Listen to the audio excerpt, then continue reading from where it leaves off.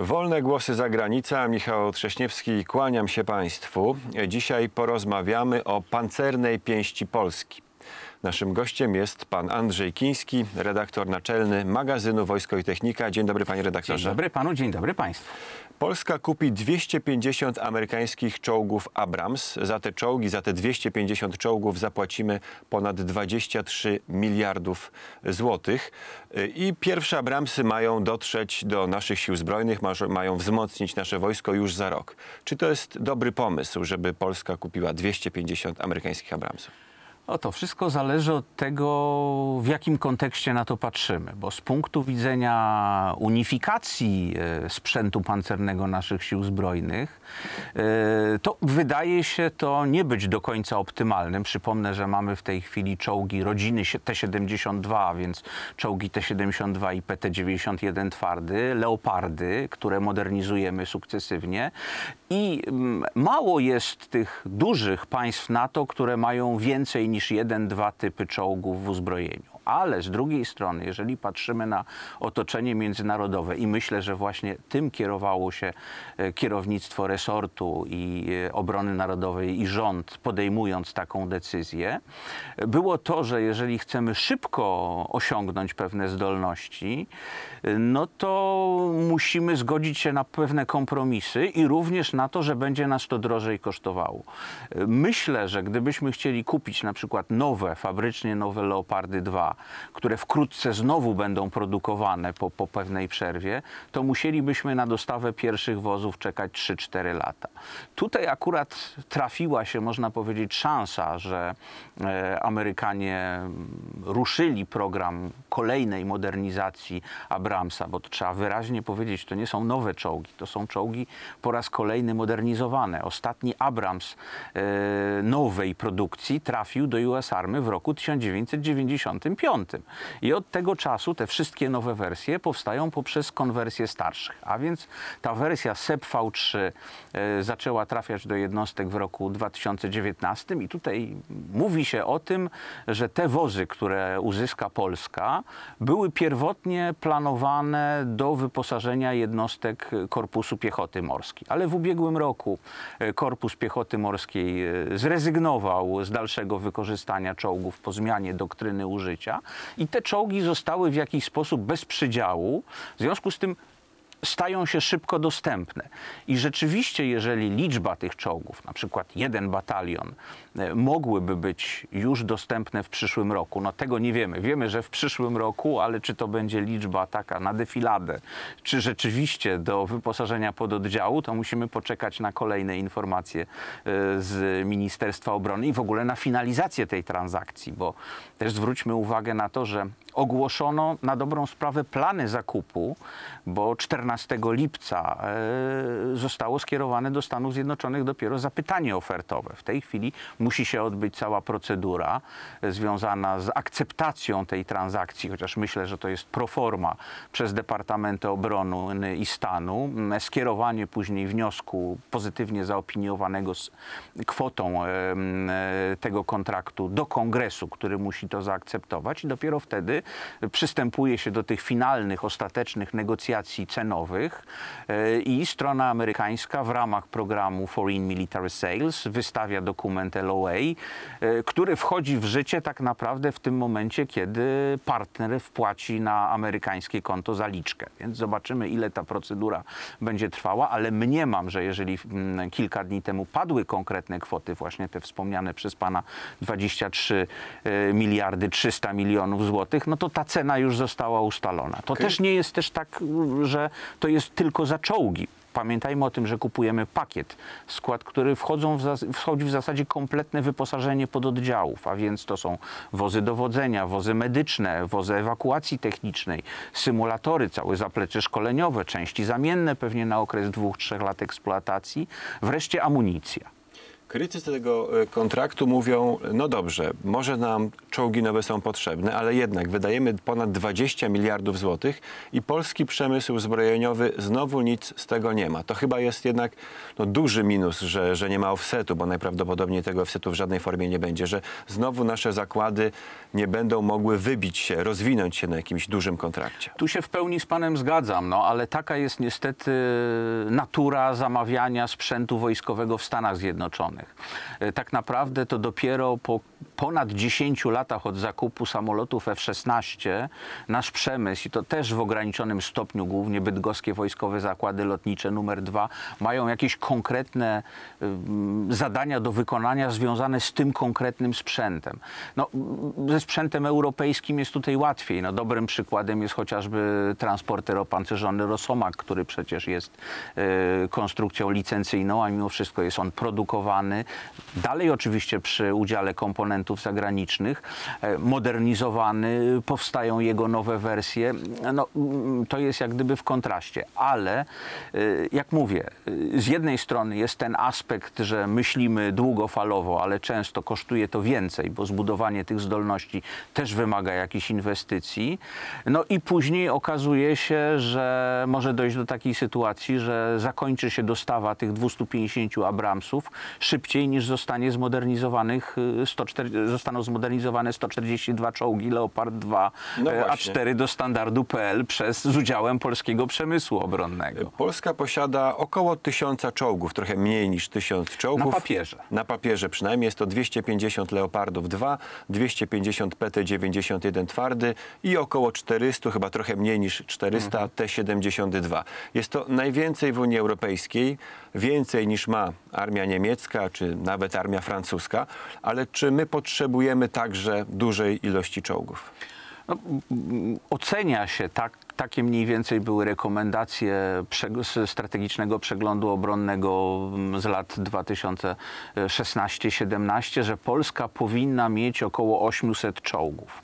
E, Inna jest dzisiaj sytuacja Niemiec, jeszcze inna jest sytuacja Francji. My jednak jesteśmy e, państwem frontowym. E, mm, Zwróćmy uwagę na to, że chociażby nasi sojusznicy z państw bałtyckich w ogóle nie, nie, nie dysponują czołgami.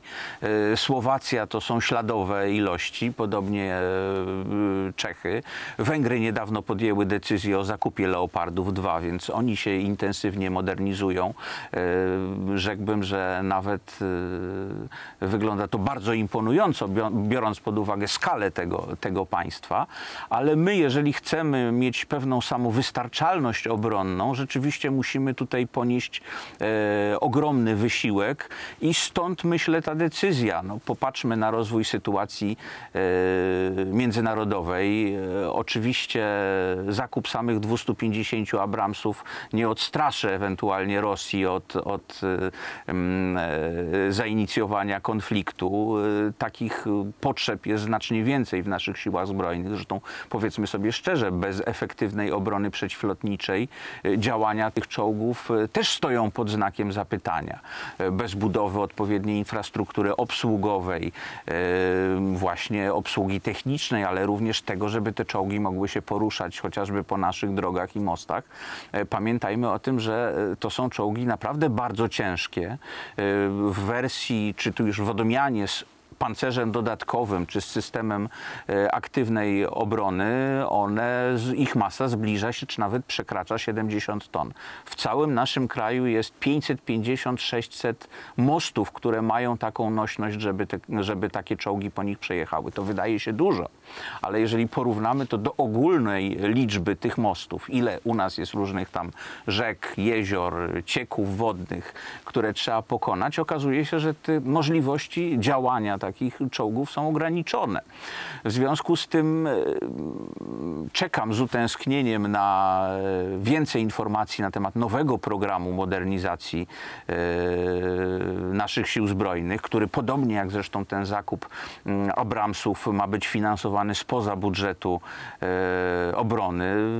Sam jestem ciekaw, skąd weźmiemy na to, na to środki i jakie będą następne kroki. Bo jak mówię, no w tej chwili paląca sytuacja jest, jeśli chodzi o system obrony przeciwlotniczej. Niedługo będziemy musieli wycofać całkowicie wszystkie systemy e, jeszcze produkcji sowieckiej. E, Te zakupy systemu Patriot to jest kropla w morzu potrzeb i w zasadzie jeśli tylko chodzi o dolne piętro naszej obrony przeciwlotniczej, tam mamy zestawy polskiej produkcji, a cała reszta musimy to w jakiś sposób oprzeć na współpracy międzynarodowej. Mam tutaj na, myśli chociażby system NAREW.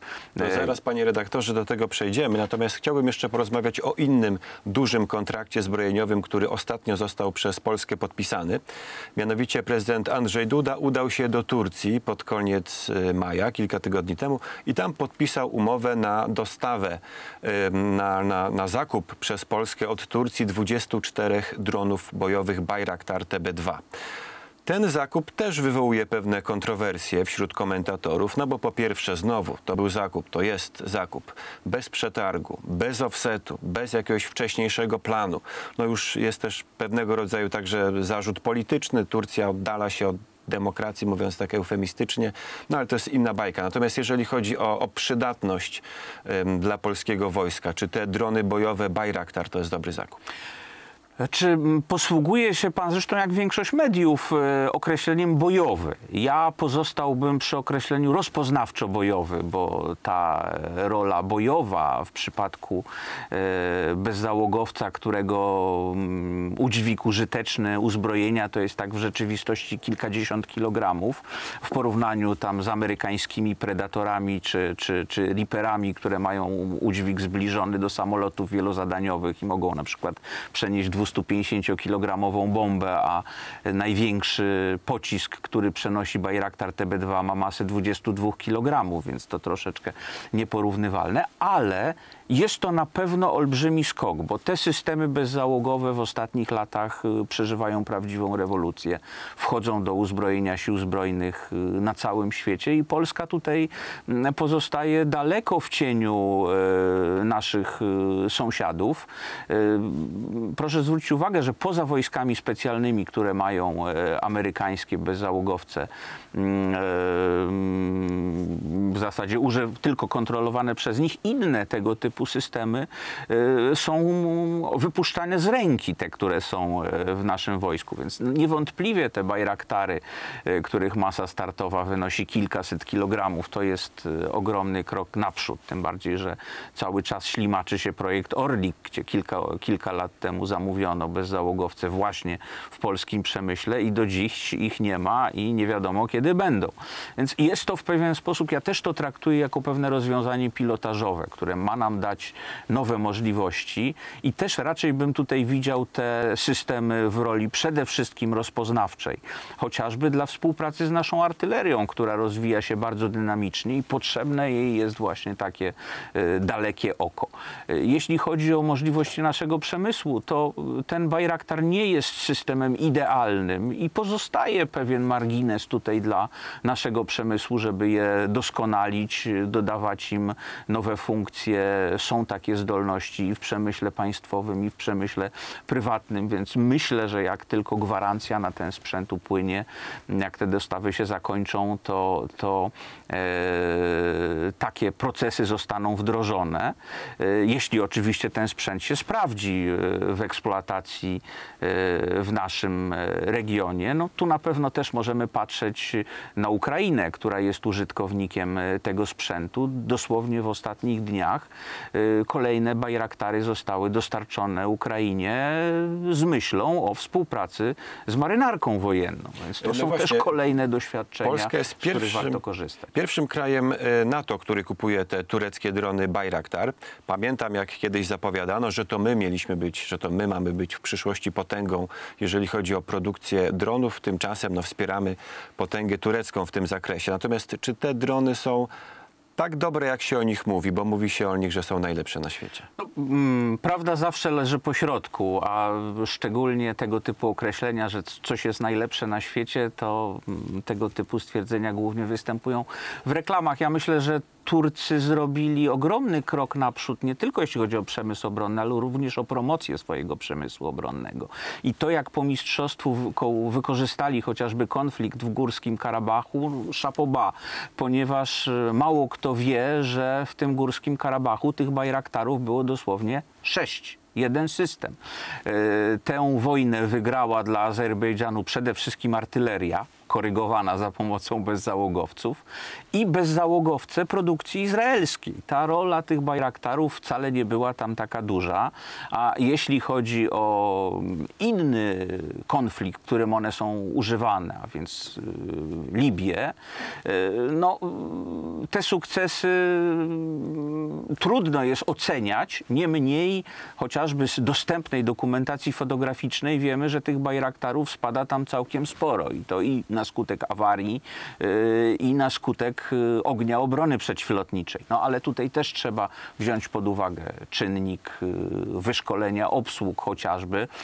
Poza tym to też inaczej wygląda, jeżeli używamy je nad linią frontu, chociażby do zrzutu mm, tychże pocisków, które czynią z tego systemu bojowy, a nie tylko rozpoznawczy. Ja myślę, że przy umiejętnym użyciu, biorąc pod uwagę te komponenty, które są zastosowane, silnik doskonale sprawdzony, głowica optoelektroniczna e, też występująca, amerykańska zresztą w bardzo wielu aplikacjach, a sam płatowiec nie jest tutaj tak naprawdę istotny. Bardzo istotny jest autopilot chociażby, ale tutaj nad tym Turcy cały czas y, pracują. No i system łączności.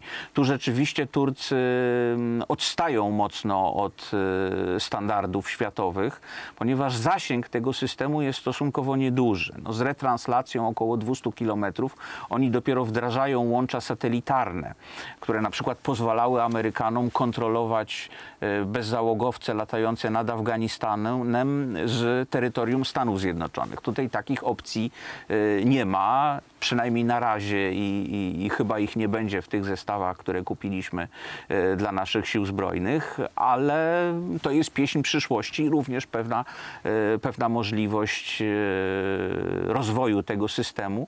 Tym bardziej, że no, czas lotu około 20 godzin sprawia, że y, ewentualnie ten zasięg może być znacznie większy, czy promień bojowy niż te 200 kilometrów dzisiaj deklarowane przez producenta.